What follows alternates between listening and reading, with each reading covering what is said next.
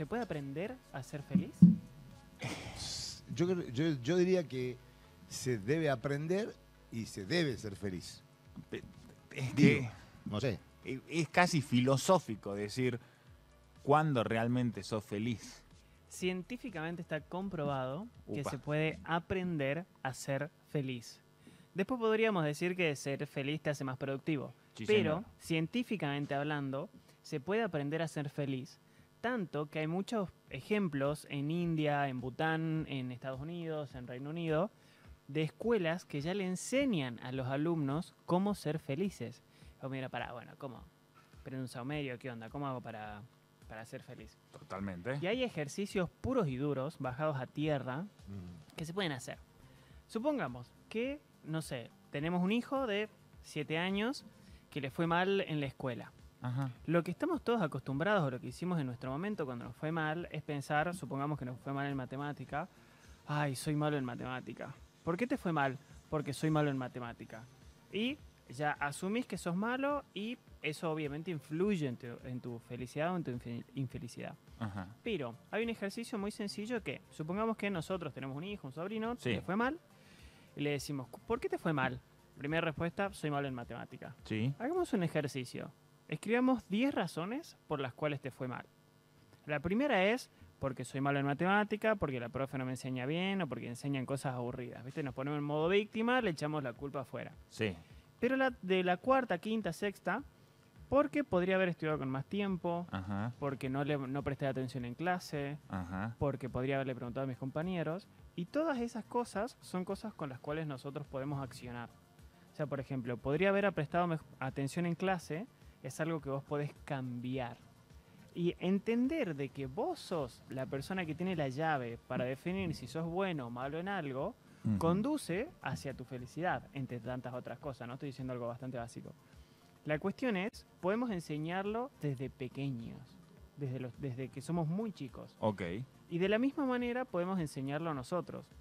Hay un libro que me lo traje a propósito para recomendarlo, que es de un escritor argentino, uy, Tranqui. es Andrés, no sé a qué cámara le apunto, Ahí. Andrés Oppenheimer. Oppenheimer, que es un periodista argentino que trabaja en Estados Sí, Unidos, señor. escribe como Hariri, ¿viste? Las 21 lecciones del siglo XXI, Amadeus, hermoso la, cómo escribe. Ajá. Parece un libro de autoayuda, pero no lo es, aunque igual aguanten los libros de autoayuda, porque te cuentan qué están haciendo las empresas y los países para que el- su población sea más feliz. Y cómo lo hacen, obviamente, basado en ciencia.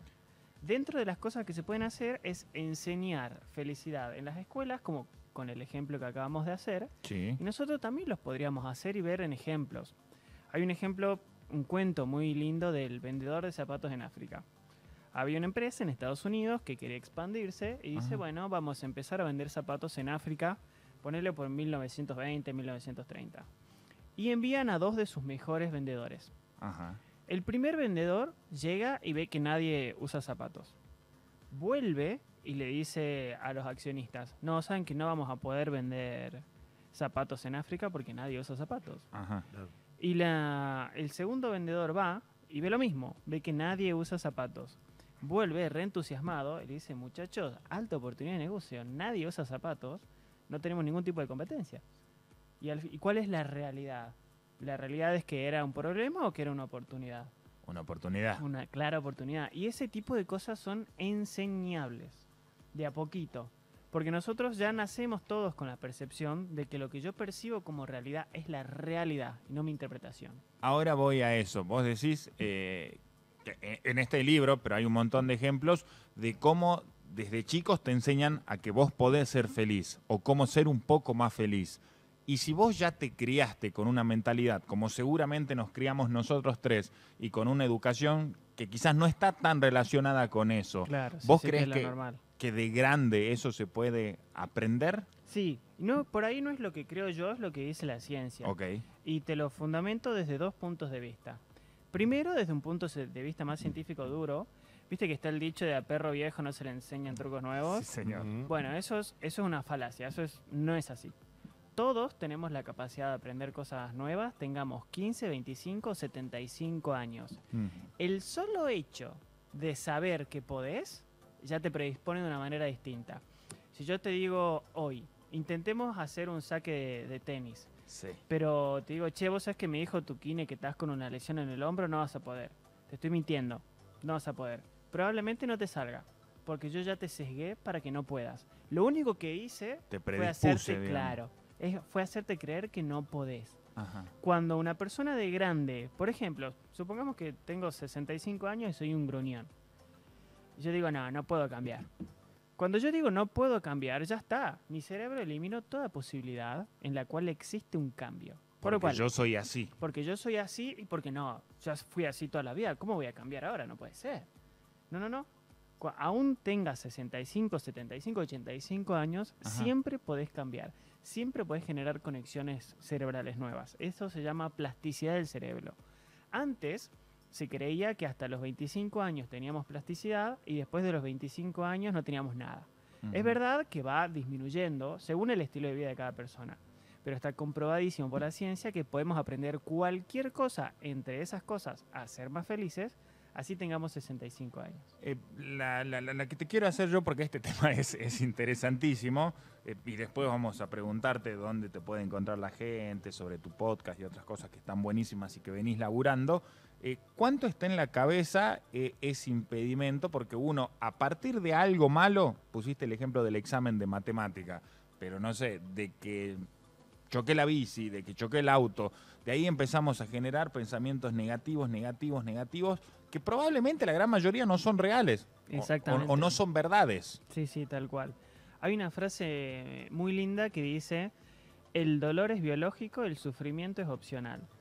Por ejemplo, si yo vengo acá y no sé, te pego una cachetada, Sí. salí corriendo después, pero te pego una cachetada, este, a vos te va a doler, o sea, Obvio. biológicamente va a haber eh, dolor. Pero después sufrir y decir, che, ¿por qué Nico me pegó? ¿Qué Claro. onda? Pero si estaba todo bien, eso es opcional. Y la cuestión es que vos no podés elegir si yo te pegué o no te pegué.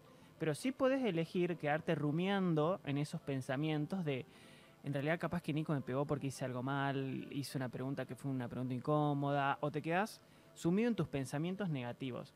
Y nosotros sí podemos elegir, entrenar en realidad, no solo elegir, la forma en la cual pensamos.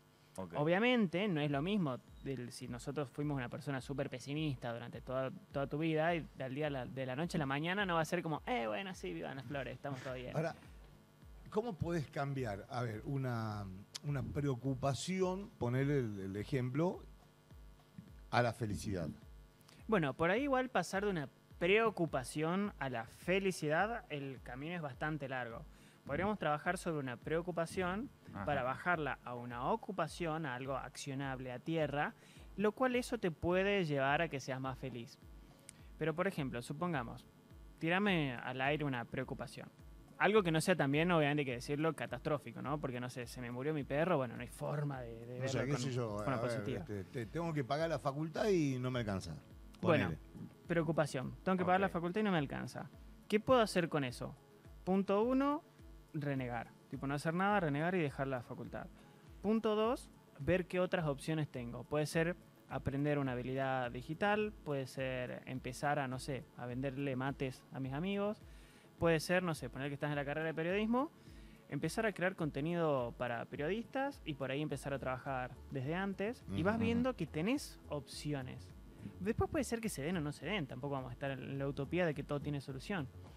Pero te das cuenta de que no sos una víctima a la cual las cosas le pasan, Claro. sino sos una persona que puede cambiar lo que le pasa.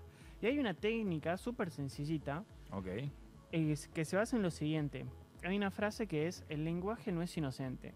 Y el lenguaje crea realidades. O sea, nosotros creamos realidades con las cosas que decimos. Por ejemplo, si nosotros estamos en el ejemplo del saque de tenis, Sí. yo te digo, che, te estás lesionando el hombro, lo único que hice fue verbalizar algo, lenguaje puro. Cuando yo digo, por ejemplo, supongamos que llegué tarde. Digo, no, viste que pasa uno, siempre llega tarde. ¿Cómo que uno siempre llega tarde? Ahí desde el lenguaje podemos intervenir de dos maneras. Primero, ¿quién es uno? Cuando decimos no, pasa que cuando uno, estamos dejando la responsabilidad allá a uno, el uno colectivo de que todas las personas llegamos tarde. Y es como, no, no, no, no es que uno llegó tarde, es que Nico llegó tarde. Y es hacerse cargo del, del problema, del error, de lo que sea, pero el hacerse cargo me permite tomar acciones para solucionarlo. Y por otro lado, viste que yo dije, uno siempre llega tarde. Sí. ¿Siempre? ¿Siempre, siempre? ¿Siempre llega tarde? ¿Cuántas, por ejemplo? El, hoy llegó unos minutitos tarde porque no le calculé al tráfico que había en el centro. Pero todas las veces, todas las anteriores veces vine a tiempo. Y ahí podría decir, siempre llega- llegas tarde y ahí empezás a trabajar sobre el lenguaje con, la- con uno mismo, con otra persona, Ajá. para ver que no, no todo es gris. Puede ser que haya cosas grises, lógicamente, pero no todo es gris. Y hay una gran Claro. diferencia entre está todo mal y hay algunas, algunas cositas que están mal. Increíble.